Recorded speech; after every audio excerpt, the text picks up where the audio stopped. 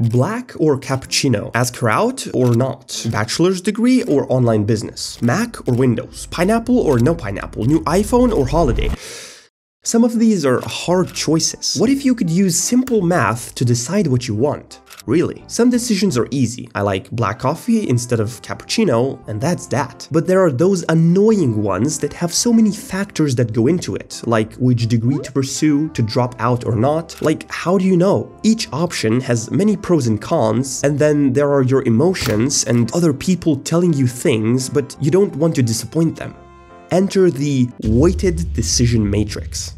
Yep, that's the name. You can do this on a piece of paper or Google Sheets to make it easier. Skip one column, enter factor. Enter name of first decision skip one, enter name of the second decision. And you can do this with however many things you're choosing from. In the factors column, write down all the things that are influencing your decision. This can be long AF. Next, leaving your emotional attachment aside and thinking as logically as possible, assign a 0 to 10 score to each factor for every decision. So I put 10 in the safetiness for the degree because it's pretty safe going to college, and 3 for online business business because it's pretty risky starting a business. Or making friends is 8 in college because it's easier than making them sitting at home. You get the point. Now make sure that for all the factors, 10 means the best and 0 means the worst. For example, if a factor is named cost, then 10 would mean there's no cost at all, it's the best cost, and 0 would mean that it's expensive AF. Name the first column factor weight. This is where you will enter in how important this factor is for you from 0 to 10. Again, here think with as little emotions as possible. For example, I don't care about my living situation, so I'm gonna put a 3, and I care a lot about my happiness, so I put 10. Name a column after each decision weighted score.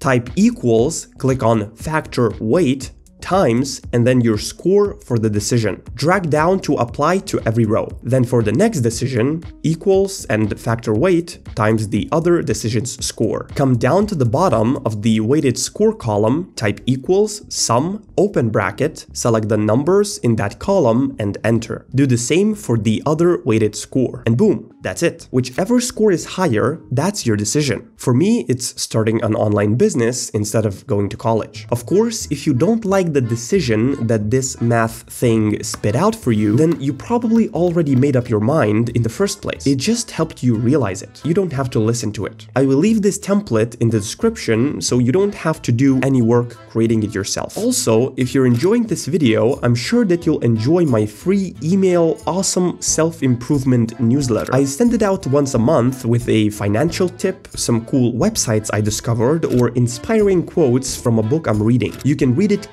completely for free in the description or subscribe to it by entering your email and you'll get it for free every month inside your inbox. I hope this was useful to someone out there and I'll see you in the next one.